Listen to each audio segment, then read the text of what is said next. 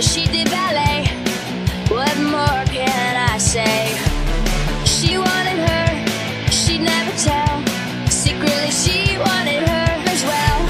But all of her friends stuck up their nose. They had